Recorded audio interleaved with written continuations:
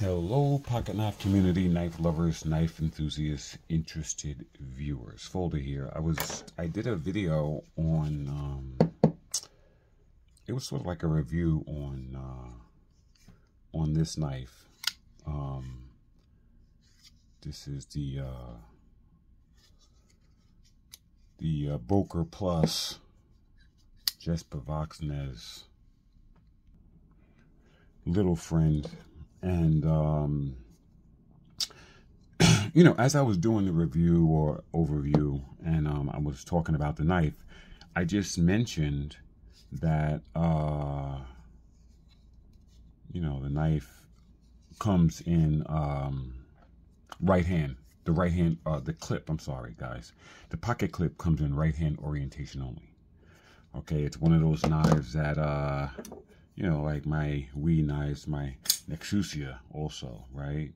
You know, uh, right-handed. And I mentioned about lefties and the fact that uh, this knife comes that way only. It doesn't give the left-handed option. And, um, you know, I got a comment uh, from someone and um, I don't quite remember how the details went with the comment, but it, it led me to believe that this person um, it led me to believe that this person is a lefty, but carries right-handed knives um, in the left pocket. So this is right-handed tip-up orientation, okay? Um, but they said something to me that led me to believe that they're carrying this knife in the left pocket, tip up, tip up and they're just drawing it out lefty, like say drawing it out in this orientation, you know, instead of drawing it out in this orientation on the right side, on the left side, it would be this way. And they have no problem with it. and I was busy at the time. I didn't want to comment on it, but after I thought about it, um, I decided to make a quick video and um, use this as a teachable moment. Um, so, just so everyone knows, if you are carrying this knife, so this is a Boker Plus little friend in the right hand tip up carry orientation because of the pocket clip. If you are carrying this knife in your left pocket, right? And it only has a tip up orientation. If you're carrying this knife in your left pocket, you are doing something that is inherently very dangerous. Okay? The uh, clothes pockets, your, the pockets in your clothes, when this is carried on the right side in this manner, okay, the the the knife sits at the back of your pocket. And that's where your pocket ends. It's the back side of your pocket on the right side and there's a crease in there where your pocket actually attaches to the pants leg and that crease is where the blade sits. So carrying this thing on the right side doesn't allow for the blade to open up in your pocket. If you carry this on your left side now you're carrying it at the back of your pocket.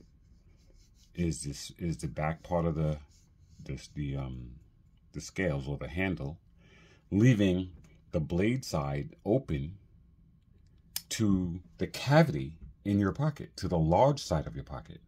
Now, this might not sound like a big deal, but it potentially could be. It potentially could be. Um, you know, the detent on this is very strong. Would this thing open by itself? Probably not, but something could happen and it could force this open in your pocket. Okay? You know, you could be in some type of confrontation. You could be, you know, you could fall. You could, um, you could be in a car accident. You have, you know, you just don't know, you know, how that could happen. I mean, something could happen where this could actually come open because there's nothing up against the blade holding this in this position um, and you mess around and cut something off. okay. or you'll slice your leg and cut your, you know, um, femoral artery. Uh, yeah. For safety purposes, guys, there's a reason why this pocket clips are set up left-handed or right-handed. There's a reason why carrying these knives tip up in your pocket on the proper side is something that is a way that it should be carried. It should be carried, this knife with this right hand orientation should be carried in your pocket with the blade up against the back side, the closed side of your pocket, not towards the open side, the cavity opening in your pocket. Okay, so that in the case something happens, this blade can't be forced open inside your pocket.